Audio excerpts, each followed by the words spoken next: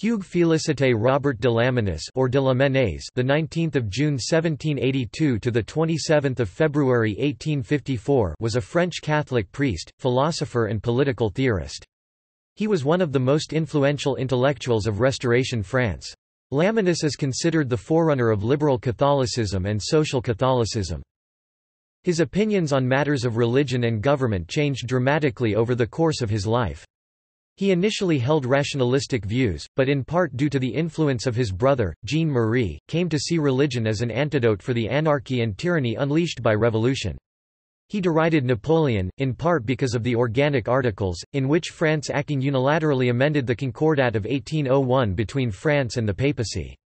Lamennais assailed the Gallican view of the relationship between civil authority and the Church and was for a time a staunch ultramontane.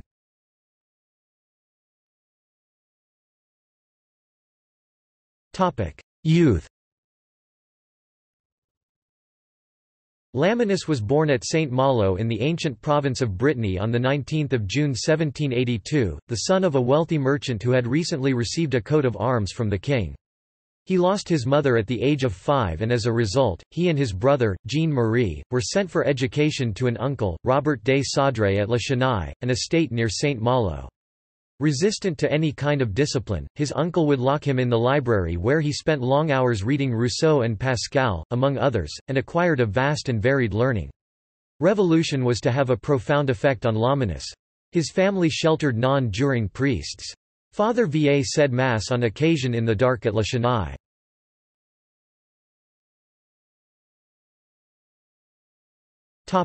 First publications Of a sickly and sensitive nature, and shocked by the events of the French Revolution, Lamennais developed a morbid frame of mind. He first held rationalistic views, but partly through the influence of his brother Jean-Marie and partly as a result of his philosophical and historical studies, he came to see the power of faith and religion. He voiced his convictions in Réflexions sur l'état de l'Église en France pendant le 18e siècle et sur sa situation actuelle, published anonymously in Paris in 1808. The idea for this work and the materials were due to Jean-Marie, but the actual writing was done almost exclusively by Félicité. It recommended religious revival and active clerical organization and the awakening of an ultramontane spirit. Napoleon's police deemed the book dangerously ideological and tried to suppress it. Lamennais devoted most of the following year to translating Louis de Blois' Speculum Monachorum into French, which he published in 1809 under the title Le Guide spirituel. In 1811 Lamennais received the tonsure and became professor of mathematics in an ecclesiastical college at St. Malo founded by his brother, who had been ordained a Catholic priest in 1804. When the school was closed by imperial authority the following year, Félicité withdrew to La Chênaie, while his brother became vicar general of the Diocese of Saint-Brieuc. In 1814 he published, with his brother, De la tradition de l'Église sur l'institution des évêques 1814, in which he strongly condemned Gallicanism and the interference of political authority in ecclesiastical affairs. It was provoked by Napoleon's nomination of Jean-Siffrein Maury as Archbishop of Paris in accordance with the provisions of the Concordat of 1801.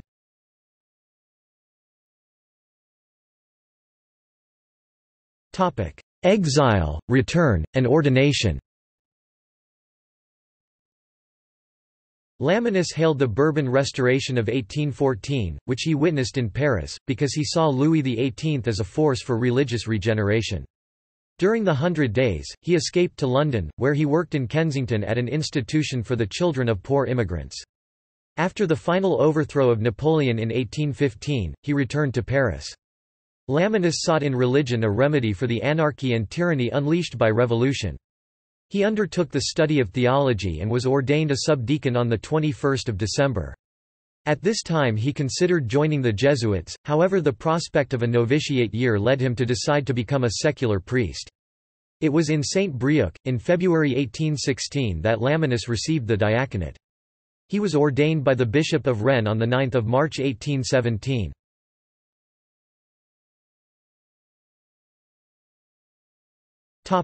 Essai sur l'indifférence en matière de religion The first volume of his great work, Essai sur l'indifference en matière de religion, or Essay on Indifference in Matters of Religion, appeared in 1817 and established his reputation throughout Europe. He became, according to Lacordaire, a humble priest with all the authority once enjoyed by Bossuet. His experience of Napoleon persuaded him that the state had no right to interfere in religion. Lamennais denounced religious indifference by the state and toleration while advocating for a restoration of the pre-revolutionary authority of the Catholic Church. He contended that private judgment, introduced by Martin Luther into religion, by Descartes and Leibniz into philosophy and science, and by Rousseau and the encyclopedists into politics, had resulted in practical atheism and spiritual death. He asserted that ecclesiastical authority, founded on the absolute revelation delivered to the Jewish people, but supported by the universal tradition of all nations, was the sole hope of regenerating the European communities. Three more volumes Paris, 1818–1824 followed and met with a mixed reception from the Gallican bishops and monarchists, but with the enthusiastic support from the younger clergy. Three Roman theologians examined his work and Pope Leo XII gave it his formal approval. Lamennais visited Rome at the Pope's request. He was offered but refused membership in the College of Cardinals. Lamennais also published works of piety, for example, a widely read French version of The Imitation of Christ with Notes and Reflections 1824, Guide du Premier Age, Journée du Chrétien, and Recueil de Piété 1828. The failure of a publishing house aimed at spreading this pious literature resulted in his own financial ruin.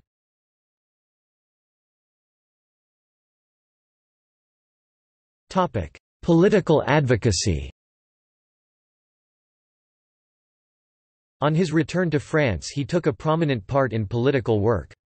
Together with Chateaubriand and the Comte de Villèle he was a regular contributor to Le Conservateur littéraire. However, when Villèle became the chief supporter of absolute monarchy, Lamennais withdrew his support and started two rival organs, Le Drapeau Blanc and Le Mémorial Catholique. He authored a pamphlet criticizing the 1825 anti-sacrilege law introduced by Villèle's administration. Various other minor works, together with De la religion considérée dans ses rapports avec l'ordre civil et politique 1825 kept his name before the public.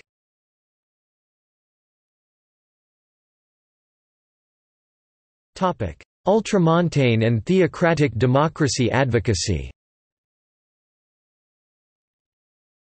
He retired to La Chanaie and gathered a group of disciples, including Montalembert, Lacordaire and Maurice de Guérin.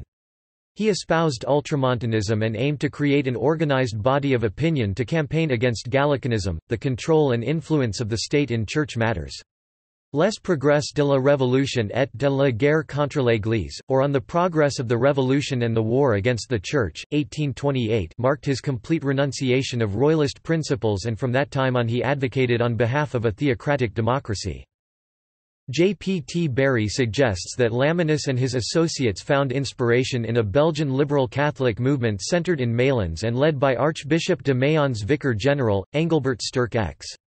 Largely Catholic Belgium seceded from the Netherlands in 1830 and established a constitutional monarchy. Sterckx, who became archbishop in 1832 found a way not merely to tolerate the new liberal constitution, but to expand the church under the new liberties guaranteed. Lamennais founded L'Avenir, the first issue of which appeared on 16 October 1830, with the motto, "'God and Liberty'". His social theories became more radical. The paper was aggressively democratic, demanding rights of local administration, an enlarged suffrage, separation of church and state, universal freedom of conscience, instruction, assembly, and the press. Styles of worship were to be criticized, improved or abolished in absolute submission to the spiritual, not to the temporal authority. His views were opposed by the bishops and supported by the younger clergy, but he lost even their support when he said priests should not be paid by the state. With the help of Montalembert, he founded the Agence Générale pour la défense de la liberté religieuse, which became a far-reaching organization with agents throughout France who monitored violations of religious freedom. As a result, the periodical's career was stormy and its circulation opposed by conservative bishops. Although pressured by the French government and the French hierarchy, Pope Gregory XVI would have preferred not to make an official issue of the matter. However, Lamennais, Montalembert, and Lacordaire suspended their work and in November 1831 set out to Rome to obtain the Pope's approval. Archbishop Quélen of Paris had warned Lamennais that he was being unrealistic and was viewed as a demagogue in favor of revolution. As Quélen was a Gallican, Lamennais ignored him. After much opposition, they gained an audience, but only on condition that their political project should not be mentioned. Metternich, whose Austrian troops ensured the stability of the Papal States, pressed for a condemnation. A few days later they received a letter from Cardinal Pacca, advising their departure from Rome and suggesting that the Holy See, while admitting the justice of their intentions, would like the matter left open for the present. Lacordaire and Montalembert departed immediately, but Lamennais stayed on until Gregory's letter to the Polish bishops, which denounced the Polish Revolution against the Tsar, dashed his last hopes. Gregory thought the Polish revolutionaries were seeking to undermine Russian Tsar Nicholas I's efforts to support the Catholic royalist cause in France by forcing him to divert his troops to suppress the uprising in Poland. While staying in Munich, Lamennais received the 1832 encyclical Mirari Vos, which condemned religious pluralism in general and certain of Lamennais' ideas advanced in L'Avenir without mentioning his name. After this, Lamennais and his two lieutenants declared that out of deference to the Pope they would not resume the publication of L'Avenir and dissolved the Agence Générale as well. Ma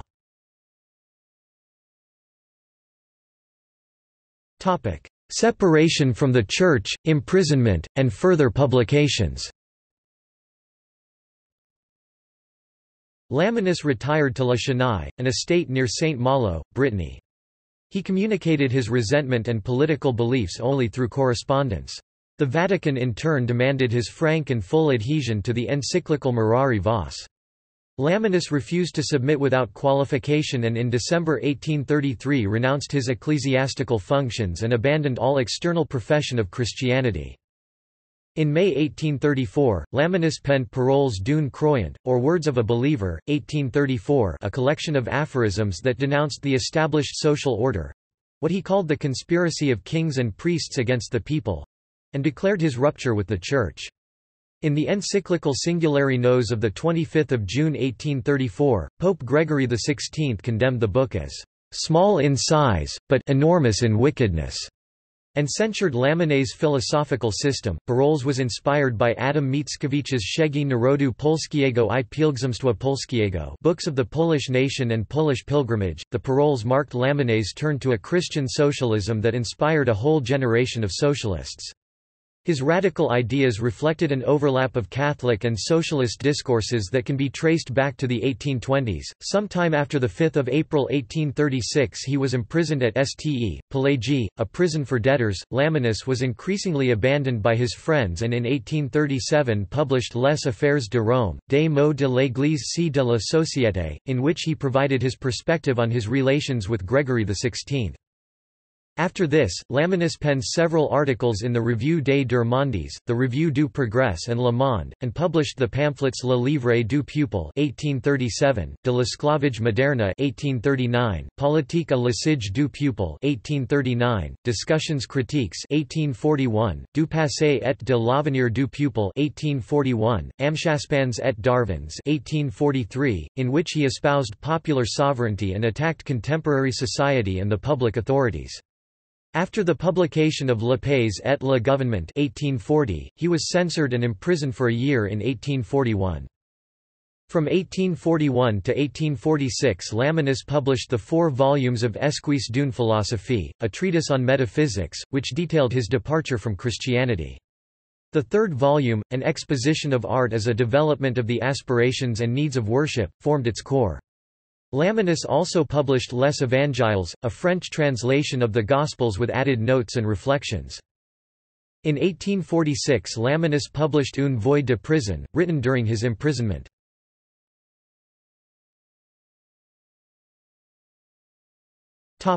Involvement in the Second Republic Lamennais sympathized with the Revolution of 1848 and was elected a deputy for Paris to the Constituent Assembly. He drew up a plan for a constitution, which was rejected as too radical. After this, he confined himself to silent participation in the sessions. He also started the newspapers Le Peuple Constituant and La Révolution démocratique et sociale, espousing radical revolution. Both papers quickly ceased publication. He was also named president of the Société de la Solidarité républicaine. He remained a deputy in the legislative assemblies until Napoleon III's 1851 coup, which depressed and isolated him once more.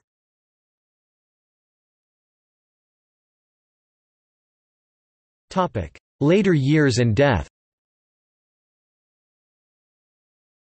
After 1851, he occupied himself with La Divine Comédie, a translation of Dante's Divine Comedy, and refused several attempts to reconcile him to the Church.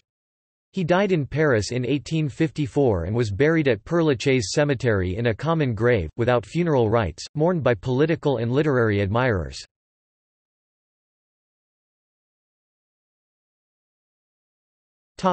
Works There are two complete works in ten volumes, the first published in 1836–1837 as Œuvres complètes de la the second published in 1844 as Œuvres complètes de Lamennais. Both are incomplete.